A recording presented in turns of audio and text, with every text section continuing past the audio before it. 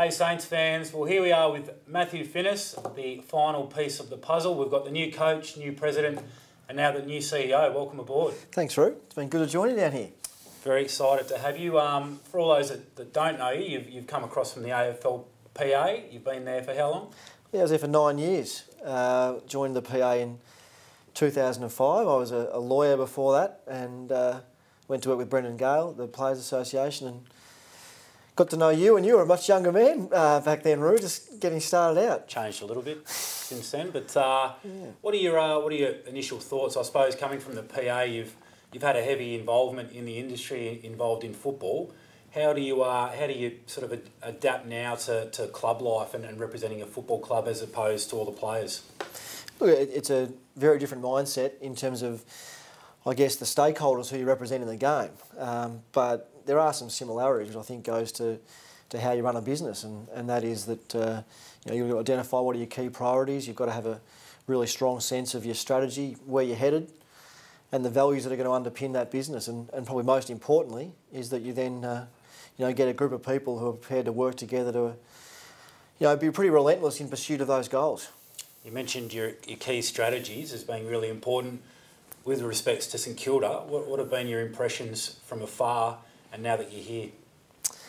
Yeah, look, I, I, as you said, I've had the privilege of, I guess, seeing 18 clubs uh, in my previous role up close over some time, and and over that time, you know, St Kilda has had its ups and downs. Uh, it's you know played in in grand finals, uh, and it's had a turnover of a lot of, a lot of the list, and and now you know I get a real sense of St Kilda as um, it's a very young, dynamic place, which is um, which has taken stock and and regrouped and now going again, I guess, into, to use that phrase. Uh, and, and there's a, I think, a, a, genuine sense of optimism about the future. So you sort of see it as, as, a fresh beginning for the football club in a lot of ways? Yeah, I reckon it is. And, and it's about, uh, a bit about the new personnel, a new coach and a new president. And, and, uh, and that always, I guess, signals uh, a new beginning in many ways. But I think we've also seen that in you know, the way in which the teams um, started performing the year and, and some of the young players coming through who have already had that chance, which I guess you know reflects you know where the team's at. That you're blooding young players uh, from early doors, and hopefully the fans can see you know a bit of excitement there to get behind and, and be optimistic about what's ahead. I think one of the other things that fans uh, might have heard a little bit about and might be optimistic about is is the potential for the club to uh, you know get re in touch with the uh, you know the entirety of the Bayside. Where um, we've got a great home down here at Seaford. We've got a uh, an attachment to Moorabbin, and there's been talk about the junction. You're a, a Bayside man yourself. You live in Beaumaris with your with your family. What uh, what can you tell the fans about a uh, possible relocation? Oh, look, I think it's um, it's it's very early doors in relation to you know um, talking about about that. What, what I would say is is really exciting is that it's about St Kilda connecting with all of its heartland. And, and that means, you know, from St Kilda, you know, through Moorabbin, down here to Frankston, and right down to the peninsula. And, and if St Kilda is going to, you know, truly connect with our fans, then we've got to really engage with all of our Bayside communities. And, and so, um, you know, having a presence uh, in all of our heartland um, places, I think, is a, it should be a key strategic pillar of, of the organisation. And, and that's pretty exciting. I think we've, you know, everyone's right behind that. Yeah, certainly. Uh you know, the, the Portsea to, to Port Melbourne aspect is, is huge for the club.